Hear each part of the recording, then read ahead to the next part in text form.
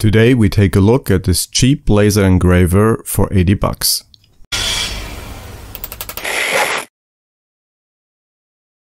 Let's first get some things out of the way. I bought this laser engraver you see me unboxing here with my own money and this video is not sponsored. If you decide to buy one of these using the affiliate link in the description, will help to support the channel at no additional cost for you. I bought this laser engraver for a very specific reason, to use it as a branding iron or make a mark to put my sign on furniture.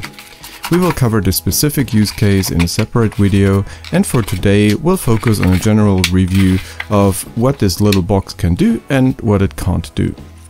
One thing it definitely can do is to destroy your eyes and make you blind. You should therefore not use the laser as it comes out of the box. In the link in the description you can find a free template for covers on the three open sides that add an important safety feature.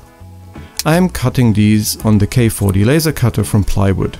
As you most likely don't own a larger laser cutter, you can simply cut them from cardboard and cover the inside with aluminum foil. This is going to create a cover that the laser can't pass through to protect your eyes.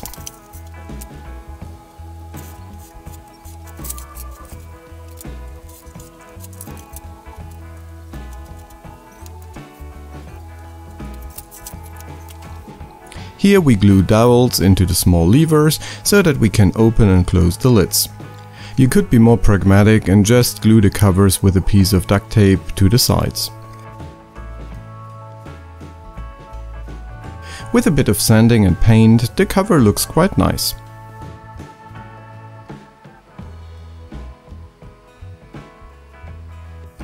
Even with this protection, you should always wear safety glasses that work for the wavelength of 450 nanometers. The protective glasses for this wavelength are cheap and usually cost around 10 bucks. With these precautions we are all set and prepared for running the laser.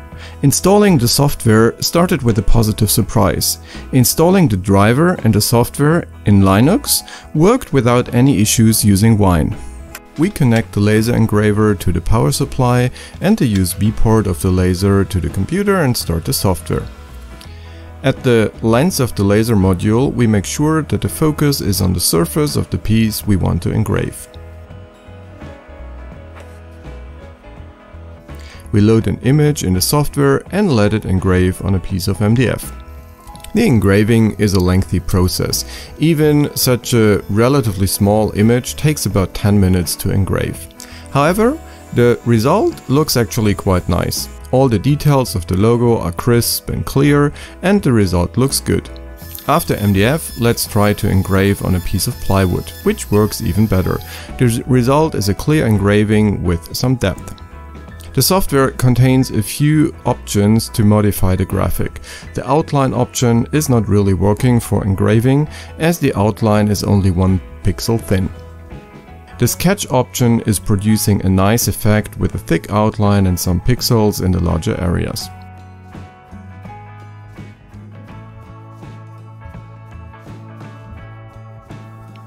There is however a neat feature of the laser engraver. With this button in the software you can actually save an image on the laser engraver itself and then engrave the image with the laser not connected to a computer. Next I was curious if the laser could engrave acrylic. After removing a piece of acrylic, we can see that the laser actually nicely engraved my logo in the coating of the IKEA metal cabinet. While the acrylic doesn't show any sign of an engraving, this shows nicely that paint on a metal surface can be engraved with this laser. Let's try this again with reflecting aluminum foil, adjusting the laser focus and the maximum power and carving depth. Again, the acrylic piece doesn't show any sign of the laser so it seems that the laser is not able to engrave acrylic. Besides wood, the laser engraves also cardboard. Paper, however, does interestingly not work when using 100% laser power and 10% engraving depth. With 100% carving depth, it is possible to burn the paper, although this will not result in a clear cut, it might be possible with some patience to create small stencils. So to summarize, you can't cut anything with this laser engraver, even paper can't really be cut. I was not able to engrave acrylic, but it is very well suited to engrave in MDF and plywood. Nevertheless, for the purpose of using it as a maker mark, this seems to be a great fit. In one of the next videos, we will add some changes to this tool. Please subscribe so you don't miss this and other laser related videos and follow us on Instagram for a look at future projects.